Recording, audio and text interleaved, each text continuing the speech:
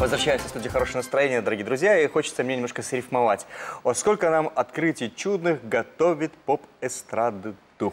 Ну, а я скажу более философски. В принципе, всем известную фразу «молодым везде у нас дорога». И в студии «Хорошее настроение» тоже. Э, Олеся Боярских, белорусская начинающая, можно сказать, да, исполнительница. У нас в гостях. Доброе утро. Доброе утро. Доброе утро. Олеся, и э, действительно ли вы начинающая певица или уже Или давно уже опытная? продолжающая?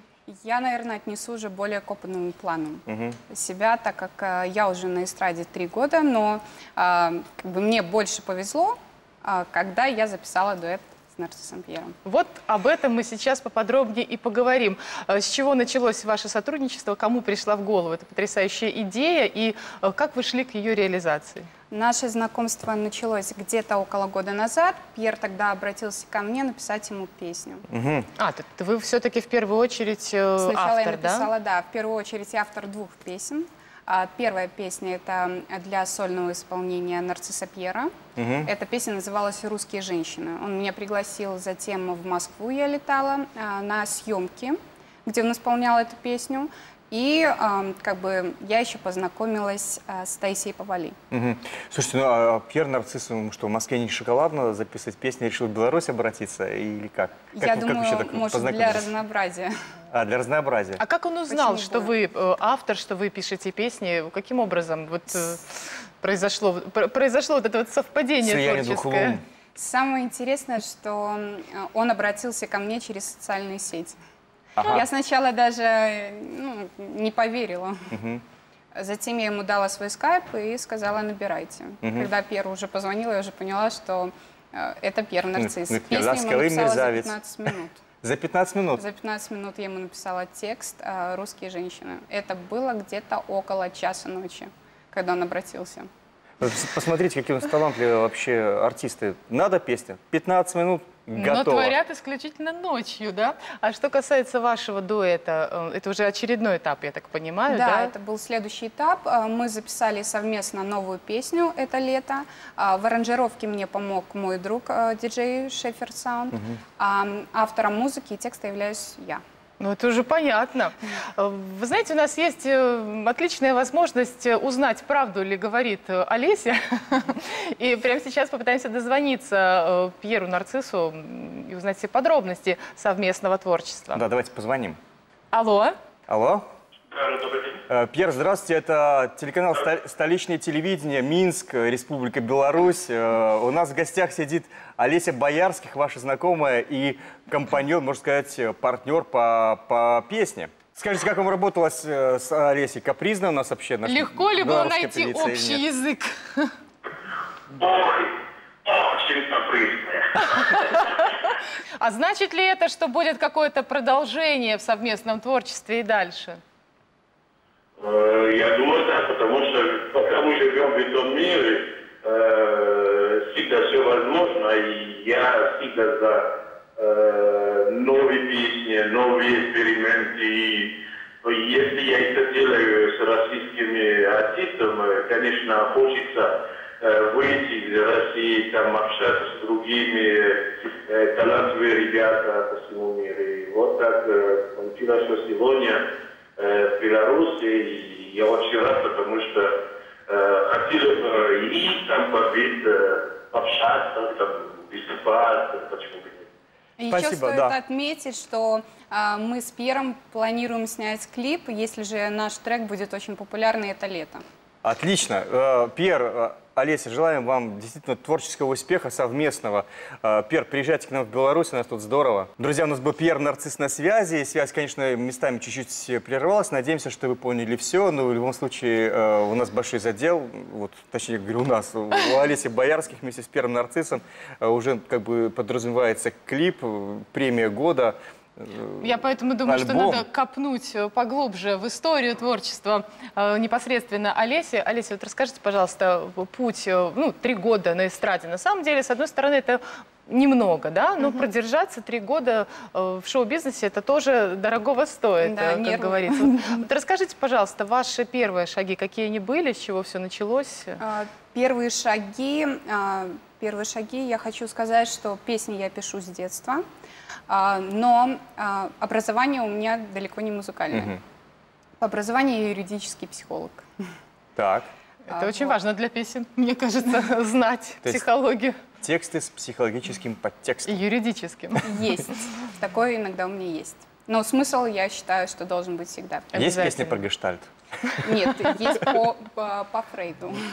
Но Фрейд интересен был всегда, по-моему, и всем. И все-таки мы, мы про то, как вы оказались э, в шоу-бизнесе. А, Долгий очень был путь, и хочу сказать огромное спасибо в первую очередь это, конечно же, моим дорогим родителям, которые э, меня всегда поддерживают и будут поддерживать на протяжении этого долгого и нелегкого пути, которые помогают не только морально, но также и, конечно же, финансово.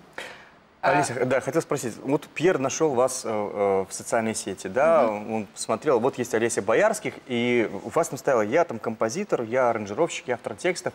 Каким образом он узнал, что вы действительно пишете музыку, и как он мог ознакомиться с какими-то демо? А, Дело в том, что у меня есть свой сайт. А, Видимо, Пьер, когда искал меня в интернете, он э, еще наткнулся на мой сайт, где также указано, что я автор своих песен. И вот он, видимо, рис- э, рискнул и получил хороший результат. Ну скажите, какую песню или какой момент э, в вашей творческой жизни вы считаете отправной точкой? Когда вот, вы можете сказать, вот отсюда началась моя карьера Стартануло. сценическая? У меня а, первая моя песня была это «Тысячи метров». А, На эту песню я сняла клип в Воэ, и я считаю, наверное, все-таки эта песня была точкой. Ну вот, насколько мы знаем, она практически сразу попала в эфир радиостанции. Да, в жесткую Это ротацию. удача, э, на ваш взгляд, либо есть какие-то другие законы, по которым вот хиты пробиваются Или пришлось дорогу? музыкальных редакторов поуламывать? А, Дело в том, Руки что... А, Я никогда не уламываю, я просто делаю рассылку. Сейчас у меня, конечно, есть мой пиар-менеджер, которым этим всем занимается. Раньше я делала все это сама. Это гораздо тяжелее и сложнее. И э, просто везение, наверное. Получился хит. Это редкость. Можно написать 10 песен, но одна из них только будет хитом станет. Вот вы говорите, есть пиар-менеджер на сегодняшний день, а говорят, что до сих пор у вас нет продюсера. А, То есть все за свой счет получается, да? Да, все за свой счет, но я думаю, что у меня очень хороший пиар-менеджер, который также заменяет мне и продюсера. Но это какой-то продуманный ход, что вот я сама, ну и мой пиар-менеджер, либо так получилось, что вы не нашли человека, Я не искала, если честно. а Я желающих помочь сейчас нету? А, Так мы сейчас кинем Писали, клич. писали, Ага. предлагают даже и песни свои, но я говорю, что извините, конечно, но песни я пишу сама. Алиса, а, скажите еще, какие у вас планы, ну, не то чтобы на ближайшее будущее, да, вот чего хотите достичь? Например, выпустить альбом, завоевать кучу музыкальных премий, а, поехать с турне, там, как Джей Лоу, по, по Европе, там, по, по всему миру. Вот какова цель? Амбиции, да, Да, какие какие-то. амбиции у человека, который только-только стартует в этом, на этом поприще? В первую очередь альбом. Я уже написала песен, наверное, 16 это точно. А, Но, скорее всего, мы будем еще делать новые аранжировки, чтобы презентовать альбом, чтобы сделать более обширное мероприятие. А Что касается турне, мы планируем совместное турне с Пьером. Опять же. Еще турне. Смотрю, у вас большие планы. Да. И, возможно, в этом году я а, поучаствую в отборе на Евровидение. Отлично. Ну что ж, планов громадье, как говорится, но впереди еще лето. Летом работать или все-таки отдыхать?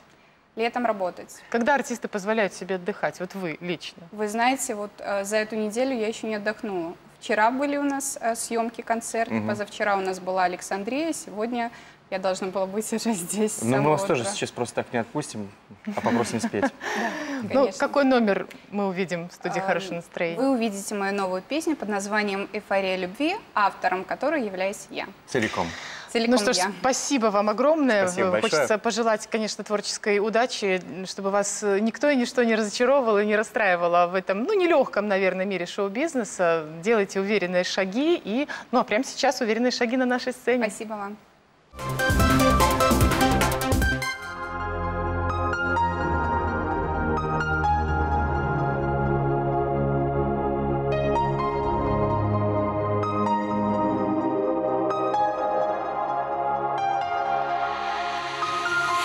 Теле мелкая дрожь, по сердцу током и нож. Пронзает чувство любви, не молчи. У нас с тобой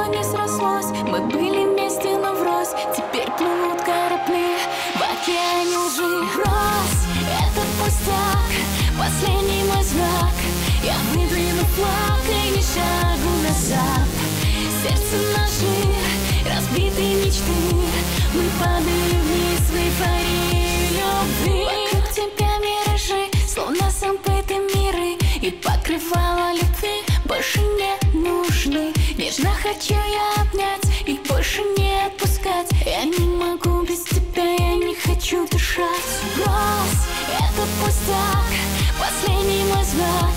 Я выдвину флаг и не шагу назад. Сердце ножи, разбитые мечты. Мы падаем вниз в эйфории.